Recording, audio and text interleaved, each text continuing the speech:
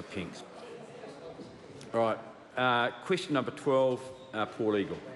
Mr Speaker, Uh, Kieran McAnulty. on behalf of the member, this question is to the Minister of Civil Defence. What recent announcements has the government made to improve New Zealand's emergency management system? Mr Speaker, The Honourable Kris Faafoi. Mr Speaker, the government has released its response to the Ministerial Technical Advisory Group report into improving our emergency management system.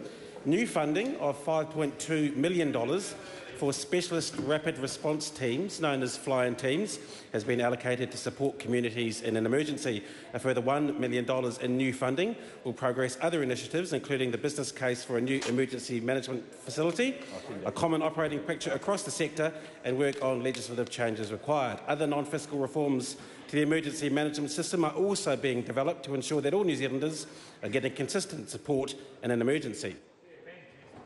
Supplementary. How will fly-in teams help in an emergency response? Mr Speaker, fly-in teams will be comprised of experienced emergency management personnel with the appropriate skills and experience, including event controllers. Fly-in teams will respond without delay wherever they are required to work alongside and support the local teams to ensure a comprehensive and immediate response is underway. The $5.2 million in funding will resource four teams, each with nine staff who hold specialist emergency management skills.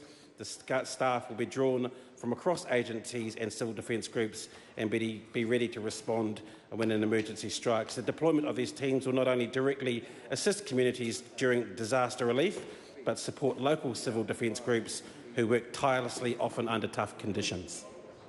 Supplementary. What other measures has the government taken to keep people and property safe when responding to emergencies?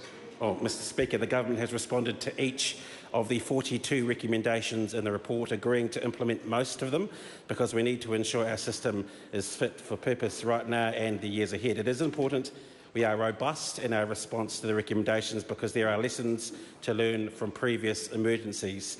Among other things, I want to see the significant role of iwi play in emergency management acknowledged and incorporated into emergency planning.